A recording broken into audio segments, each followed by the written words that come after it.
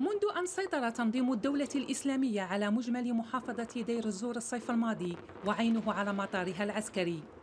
وما الهجوم الانتحاري لداعش بسيارة مفخخة عند محيط المطار وما تلاه من اشتباكات عند أسوار آخر قاعدة عسكرية كبيرة للجيش السوري في المحافظة الواقعة شرقي البلاد إلا إشارة لمساعي التنظيم لمد رقعته الجغرافية في شمال وشرق البلاد على الحدود المحادية للعراق وتركيا.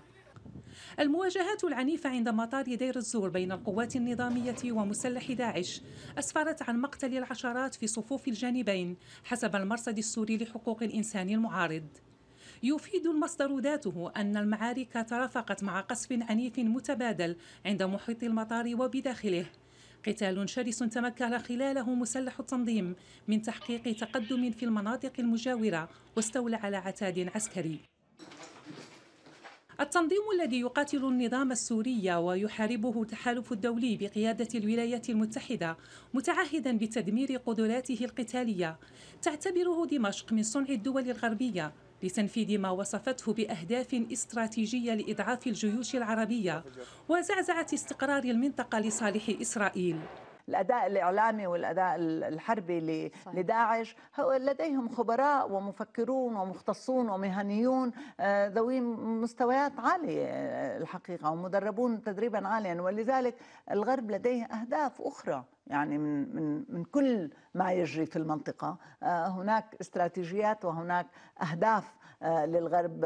ليس أقلها إضعاف جيوشنا إضعاف بلداننا.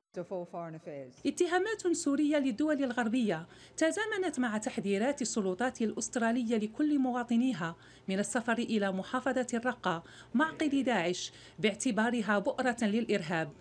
أستراليا التي صادرت الشهر الماضي جوازات سفر أكثر من سبعين أستراليا. يشتبه بأنهم كانوا يسعون للتوجه إلى سوريا والعراق حذرت من عقوبة الراغبين في القتال إلى جانب داعش.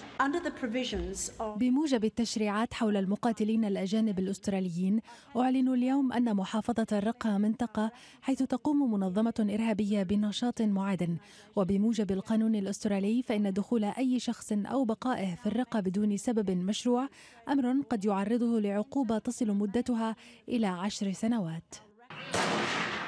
تحذيرات لم توقف تدفق المقاتلين الأجانب نحو جبهات القتال حيث المعارك على أشدها بينما لا تزال الحرب على داعش في كوباني تحظى بالاهتمام مع استمرار غارات التحالف الدولي والعربي بقيادة الولايات المتحدة على مواقع داعش حسب القيادة الوسطى الأمريكية التي أفادت بأنها شنت منذ الاثنين الماضي 14 غارة جوية في سوريا استهدفت مجموعة كبيرة من عناصر التنظيم.